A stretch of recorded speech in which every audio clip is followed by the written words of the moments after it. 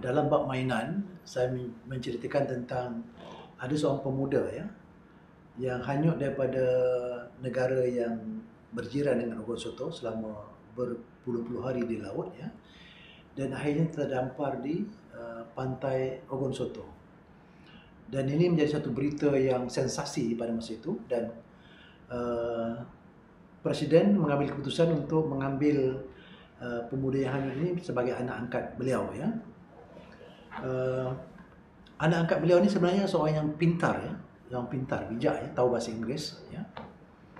Tetapi uh, dia pura-pura bodoh ya sepanjang berada di istana uh, sepanjang berada dengan keluarga presiden dan sebagainya ya. Tapi lama kelamaan kerana dia dedikasi ya sebagai pekerja yang dedikasi uh, bekerja di beberapa bahagian di kawasan istana kompleks istana dan dan uh, presiden makin percaya ya dan uh, dia bebas masuk keluar masuk ke istana presiden ya dan uh, dia dapat membaca ya uh, tulisan-tulisan ataupun rahsia-rahsia presiden ya, ya.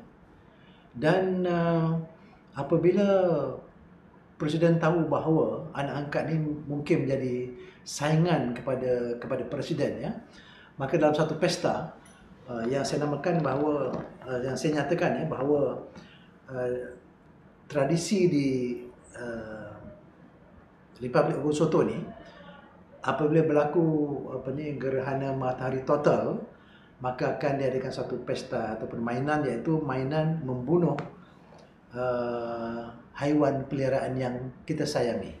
Ya yang kita sayangi. Uh, jadi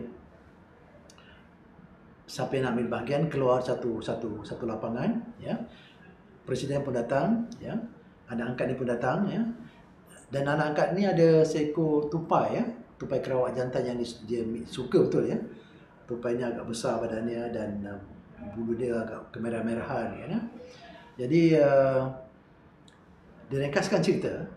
Masa permainan tu di, dimulakan ya, maka dia berhasrat untuk uh, apa ni membunuh tupai itu dan dia dah melatih dan menggunakan sumpitan ya.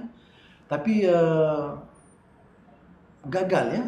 Sarannya ialah kita hanya boleh menggunakan tiga kali ya senjata kita ya. Kalau kita menyumpit tiga kali sumpitan ya. Tapi tupai itu bergerak terlalu pantas menuju ke hutan dan uh, akhirnya dia sesat uh, boleh kata sesat atau memburu apa ni tupai itu masuk ke dalam hutan ya dan uh, dia tiba-tiba di apa ni dihalang ataupun tiba-tiba muncul ya. Uh, anggota tentera yang apa ni memakai apa ni baju apa ni yang camouflage kan ya celoreng ini ya. Yang kemudian uh, menangkap anak anak angkat ini dan uh, telah apa ni menggunting lidahnya dan juga memotong dua pergelangan tangan ini jadi dengan kesakitannya, dengan kesakitan dia melarikan diri ya, melarikan diri sebab takut dibunuh pula kan ya. Dan presiden itu pun cuba menembak dia kan ya, tapi tak kena kan ya dan dia lari-lari-lari uh, ke pedalaman lagi dan akhirnya uh, disampai di satu kawasan resi. Resi ini ialah satu kawasan untuk golongan orang-orang yang bertapa ya. Orang yang bertapa. Jadi bertapa ni macam-macam caranya, macam-macam kaedah dia.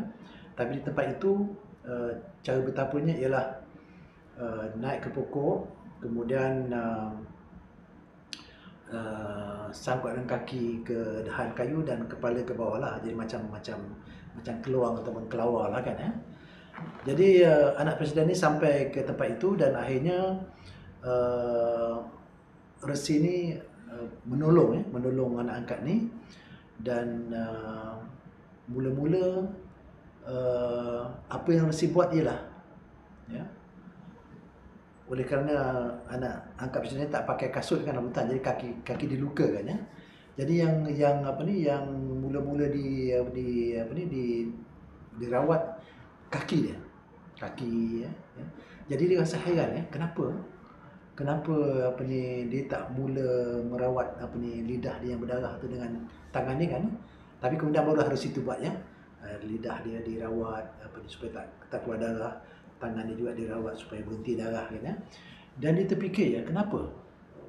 kenapa anak-anak ni terfikir ya? Kenapa kenapa lidah dia dipotong? Kenapa tangannya dipotong ya? Barangkali dia fikir kerana kalau dia dapat bercakap dia akan bercakap tentang apa ni keburukan presiden ya? Kejahatan-kejahatan presiden ya kalau dia dapat menulis dia akan menulis tentang kejahatan-kejahatan presiden ya jadi barangkali itulah dia tak dapat bercakap dan tak dapat menulis ya tapi kemudian dia terfikir kenapa resi itu me, apa ni apa ni merawat kaki dia dulu kan ya? jadi apabila dia berlunjur dia nampak kaki jari kaki dia goyang dia kata oh dia kata walaupun saya tak dapat bercakap ya dan tak dapat menulis dengan tangan saya masih dapat menulis dengan kaki ya. jadi maknanya uh, anak angkat ini uh, punya satu keazaman ya bahawa uh, sesuatu kebobrokan, sesuatu ketidakadilan, sesuatu keburukan ya mesti dizahirkan, mesti dinyatakan ya melalui uh, suara kita atau melalui tulisan kita supaya orang lain boleh memahami apa yang tidak kita senangi ya supaya uh, masyarakat mengelakkan yang tidak baik dan juga belajar mencipta satu kehidupan yang lebih baik.